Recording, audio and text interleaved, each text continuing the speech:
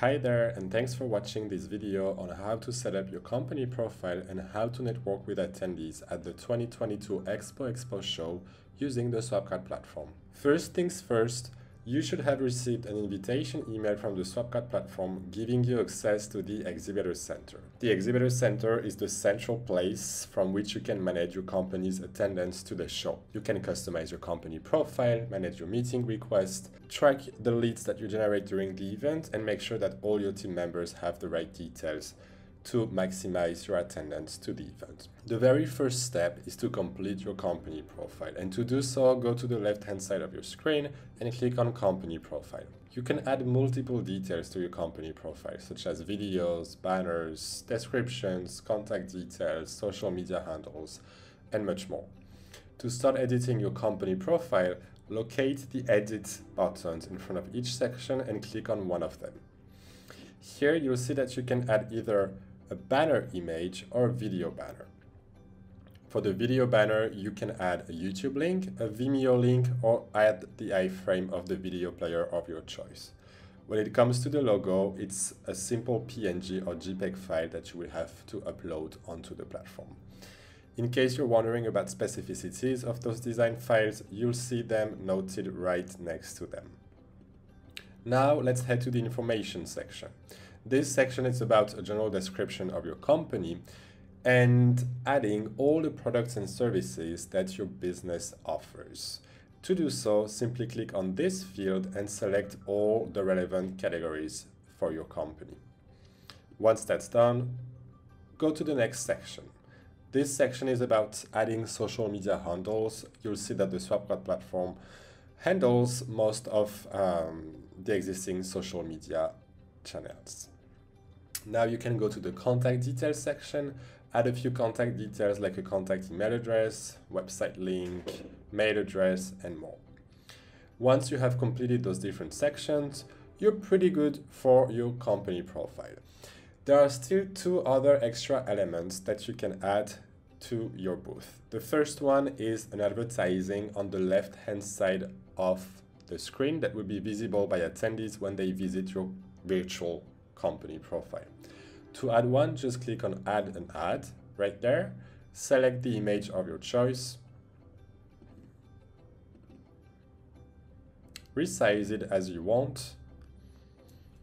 And make sure that the image redirects to either an external link outside of the software platform or to a product or service that you previously created. In my case, it's going to redirect outside of the event platform. Here we go. The next option you have is to add a background image that will make your booth customized and extend your brand experience. To do so, click on Add Background, make sure to respect the specificities that are given to you by the platform, select the file of your choice, resize it if, if needed, and click on Save. Once that's done, your company's profile will have your colors and will emerge the attendee on your in your brand experience. So that's for the general company profile. Then you have the option to add documents and links that will be accessible by the audience. To do so, click on the Documents and Links section on the left-hand side menu. Click on Add Documents, add a link or upload a document from your computer, give a title to that document, make sure to respect the limit of characters, and you can also add a description, which is optional in this case. You can add as many documents and links as you want to your booth, so make sure to utilize this feature to the fullest. The next section available are buyer resources. Under buyer resources, you will have the ability to add different resources for the audience to learn more about what your company offers. There are different categories that you can choose from case studies, company marketing materials, company news, COVID 19 updates, and research papers. Select, select the one that makes sense to you. We'll just create a test one as an example. So let's say that it's a case study that I'm going to name case study Swapcard. The title is mandatory, but once again, the description is not. I still recommend you to add a description to give as many details as possible to the audience. You can then add different cover pictures for that specific item. In this case, case study, you could add a cover image representing what the case study is about. Once again, make sure to respect the design specificities that are given to you by the platform. Simply click on the plus icon, select the image of your choice and upload it onto the platform.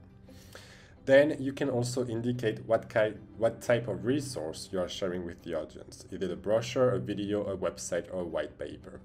In this case, it's going to be a website because my case study is living online on my website. And then simply add the link to redirect the visitor to that specific piece of content.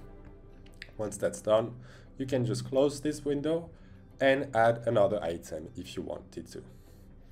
So that's it for the company profile. That's how you can fully customize your company profile and share as many details, as many materials with the audience as you can. The very next step is about meeting requests. So head to the meeting section using the menu of the exhibitor center. From that section, you will be able to manage all the meeting requests that are received um, by you during the event. You will be able to accept, decline meeting requests, or assign them to specific team members. The other section related to meetings are your company's availabilities. If you know that you won't be available at a specific time of the day because you're having a lunch break, for example, or because no one else is available at your booth, make sure to uncheck those meeting slots so the attendees cannot take meetings with you at those times. Don't worry, you still have the option to uh, deny a request or reschedule it, but in terms of experience for the audience, it's always better if you indicate your actual availabilities. The leads board is the place where you will have a preview of all the contacts that are made by you and your team members during the show. They will all be gathered in a list on this page that you can export into an Excel spreadsheet at the end of the show using this little button on the right hand side of the screen. Once the platform is open for attendees, which will happen on the 28th of November, attendees will start visiting your company profile. From this section, you will see all the different visits that happened during the show, before and after, and it will give you a good preview of the attendees that are interested by your company. So once you see a profile in there, make sure to reach out to them and ask them if they want to learn more about your offering or if you can help them run their next event. And finally, the settings uh, of the exhibitor center it's the place where you will manage all the team members that are attached to your company. So make sure that all your team members attending the event are listed on that page. If it's not the case, feel free to reach out to us and we will make sure to correct this. Once all your team members are listed on this page, you can ask them to edit their settings as exhibitor members. Just ask them to go on their name, click on the little pencil in front of them and ask them to show their profile if they want to be visible by other attendees and this way attendees can reach out to them and also to share their leads with the rest of the team. If this option is disabled, you won't get access to the contacts made by your team member and they won't be listed in the leads board. That's why it's important to ask them to enable that option so you can keep everything centralized in one place and export one single Excel spreadsheet at the end of the show. So that's the very first step of um, setting up your company profile on the Swapcard platform. Once the show is open to attendees, you will get access to the full networking platform. If you want to access it from the exhibitor center, simply click on switch to the event. Here we are on the home page of the actual web application that will be accessible by anyone attending the event, exhibitors, attendees, speakers. So what do you have to do on this platform? Well, you need to reach out to attendees, connect with them, schedule meetings with them. And to do so, you will have to go in the attendees section of the platform where all the networking happens. So let's go there. At the very top of the screen, you will see some AI recommendations made specifically for you based on the details that you added to your personal profile. If one of those recommendations are not interesting for you, make sure to tell the AI that it's the case by clicking on this little arrow and the AI will keep learning about you and about your preferences to always suggest you relevant recommendations.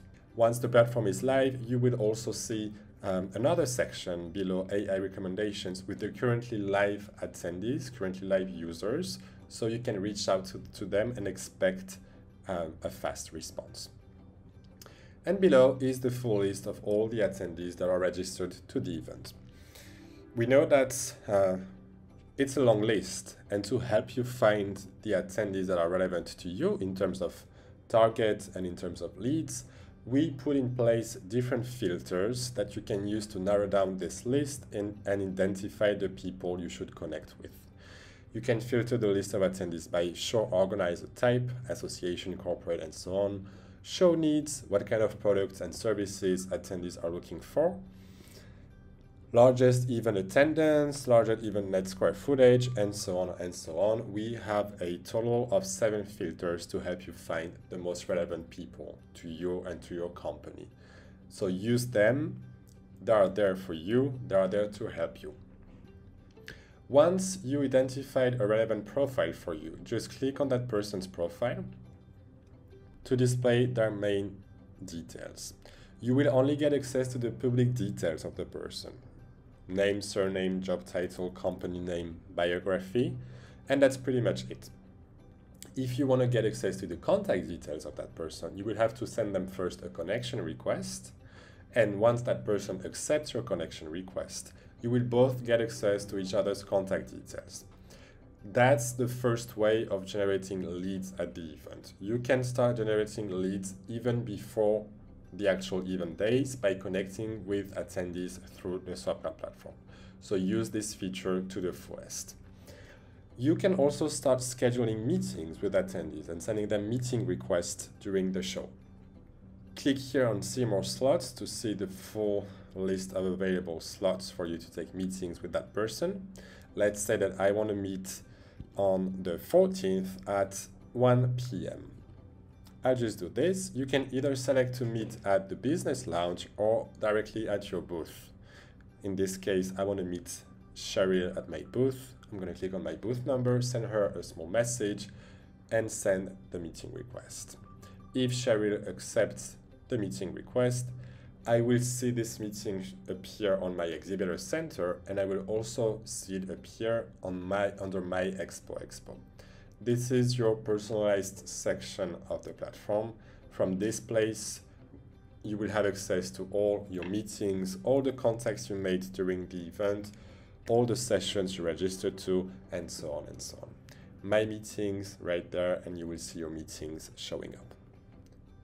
Scheduling a meeting with someone is another way of getting access to their contact details. It's also another way of securing a time with them at the event to go through their needs and make sure that you answer them and that you can offer them support. So make sure to use that feature the best you can. In case you want to export your meetings to your calendar, you can do so by clicking on the option Export to my calendar. This option will show up only once you have a first meeting booked. Still talking about networking, there are some other sections that will be important to you as exhibitors. The first one is the chat option, the chat section that is located at the very top of your screen on the right hand side. Click on that little bubble and you will have access to all the conversations you started with different attendees during the event. The feature is pretty easy to use. You can simply send them messages, add emojis and documents. It's a good way to engage an attendee with whom you have a meeting at the show before the meeting actually happens, and you can ask them questions regarding their needs. You can ask them to send you documents about their event or the RFP presentation if we're talking about an RFP. It's always good to get to know the attendees before actually meeting them to save time at the event and make sure that they are relevant to you and to your business. Here we are looking at my personal messages. I can switch to my company's messages at any time. To do so, I simply click on my name and I switch to my company's messages swap card. Why company's messages? Because attendees can reach out to the company, to your company, directly through your virtual profile. And I will show you how in a second. Let me go back to the event homepage, go to the exhibitors section, click on one exhibitor profile, and you'll see that on the right hand side of the screen, there's a chat window. Attendees can directly chat with the company. And when that happens, as an exhibitor member, you will receive the message that is sent to your company. Actually, all the members attached to a company profile will receive this message. And they will reply as being the company, not with their individual name.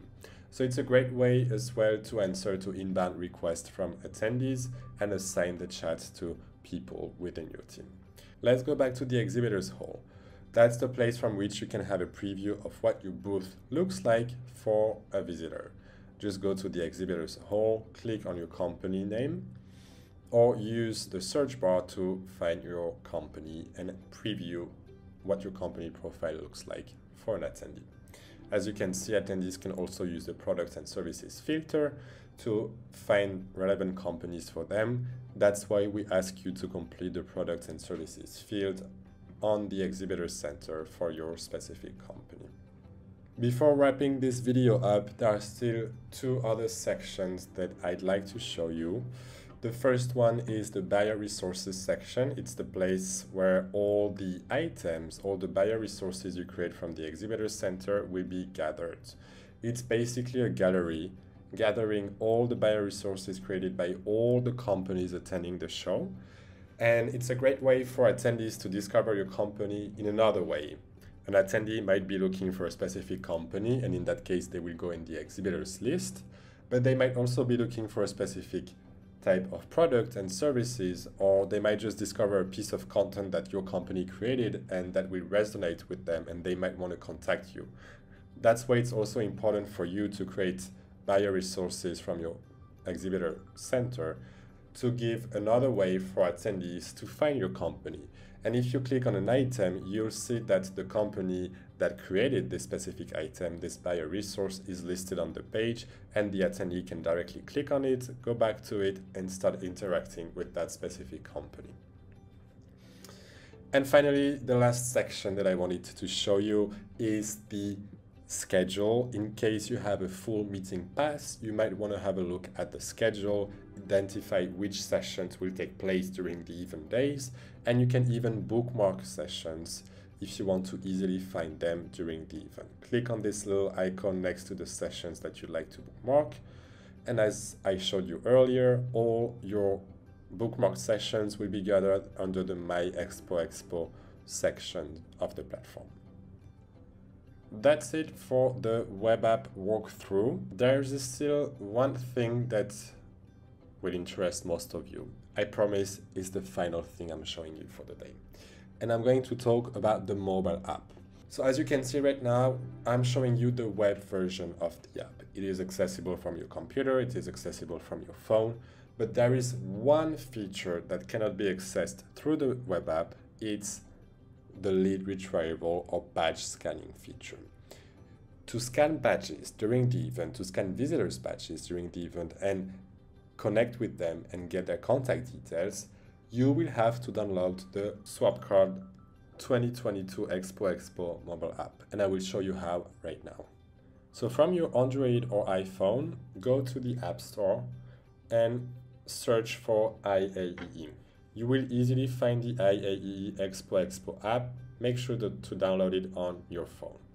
Once the app is downloaded, click on it, identify yourself using the credentials you created uh, when you logged in for the first time, and get access to the IAEE app.